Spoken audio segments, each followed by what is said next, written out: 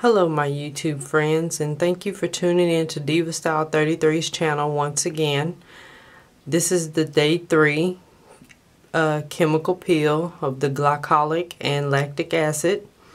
Um, as you can see my skin has already peeled.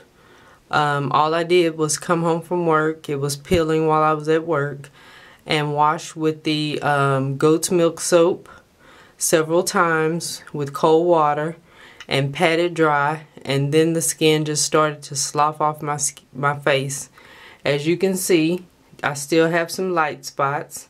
Around the mouth is the biggest one that I have the light spot.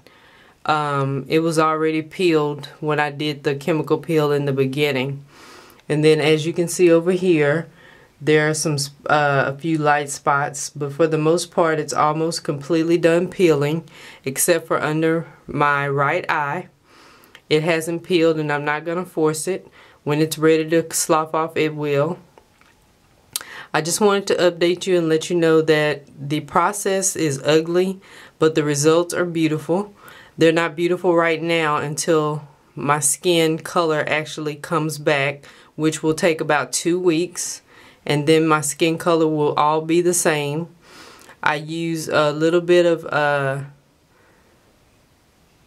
antibiotic ointment on my around my mouth because it was still a little raw even though it peeled early. But for the most part uh, I'm happy with the peel. I'm very excited to see what it looks like once all the redness is gone. And if you have any questions or concerns and you need to talk to me just send me a message and I will get do my best to get back to you.